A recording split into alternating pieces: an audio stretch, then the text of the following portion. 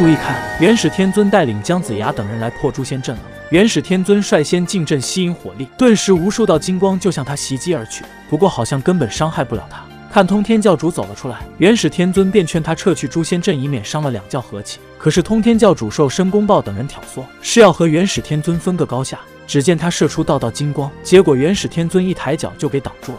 而另一边，姜子牙靠着金光护体和八卦衣的庇护，很快就取下了诛仙剑。当剑被取下的瞬间，与之对应的阵法也立即就被破了。而杨戬、哪吒等人倚靠元始天尊赐的护体金光，也顺利取下了另外三个门的宝剑。眼看着诛仙阵被破，通天教主仍不罢休，搬出压箱底的法术跟元始天尊斗了起来。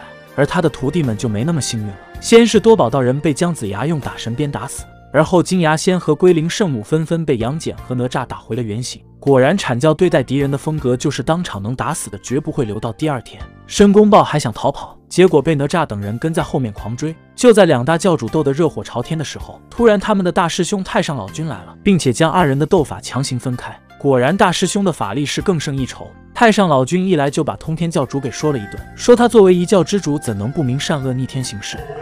啊，你这样是非莫辨，怎能怎能执掌截教啊？光听这声音，还以为文太师又复活了呢。通天教主见大师兄和二师兄是穿同一条裤子的，这也没法再斗下去了，于是掉头就打算走，谁知却被太上老君给施法困住了。三师弟。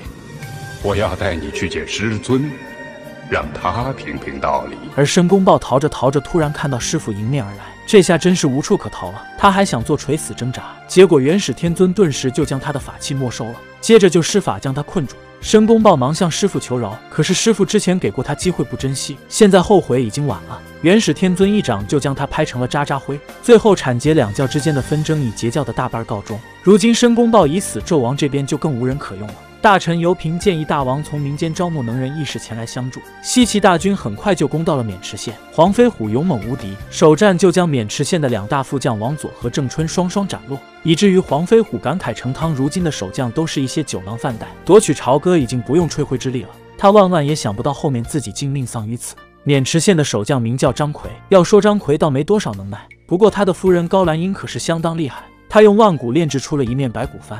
凡是从这番下经过的，都会被射走魂魄，昏迷不醒，除非有他的回灵咒语才能解救。第二战，金吒和木吒二人负责打头阵，张奎见到他俩就跑，二人还以为他是打不过，于是就追了上去，不料却中了张奎的刀，被插在路边的白骨幡给摄取了魂魄，随后被抓了起来。想到这就可以理解为什么西岐一般减员都比较少，而朝歌每次只要一打败仗，大将必死无疑，以至于最后到了无将可派的地步。事后，姜子牙看出了白骨幡的威力，他想到哪吒乃是莲花化身，没有三魂七魄，说不定白骨幡对哪吒无效。于是他让哪吒将计就计，混进敌营救出金吒和木吒。另一方面，让黄飞虎率大军走小路，趁机进入渑池县内。很快，哪吒就只身前往交阵，打得张奎大军屁滚尿流。